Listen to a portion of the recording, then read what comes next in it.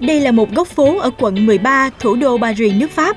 Góc phố này thu hút sự chú ý của người qua lại vì hàng chục con gấu bông khổng lồ treo trên ban công các tòa nhà. Những con gấu bông thể hiện tình đoàn kết của các tiểu thương trong khu phố. Chúng giúp người đi đường mỉm cười khi nhìn thấy và mang lại ấn tượng mới mẻ cho góc phố này.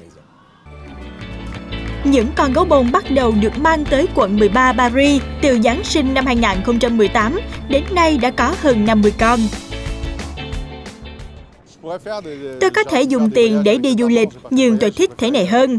Cả khu phố như đầy sức sống hơn khi mọi người đều nở nụ cười trên môi. Những con gấu không chỉ nổi tiếng với người qua đường mà còn được biết tới rộng rãi trên mạng xã hội. Một trang Facebook dành riêng cho chúng đã có tới hơn 225.000 lượt truy cập.